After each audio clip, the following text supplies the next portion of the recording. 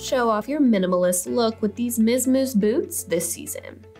I love this beige colorway. It's so pretty and will go with so many different outfits. And they offer a leather upper, making them super durable. They have a simple zipper closure at the front, so you can get in and out of these really easily. And they have a round closed toe construction with an ankle length.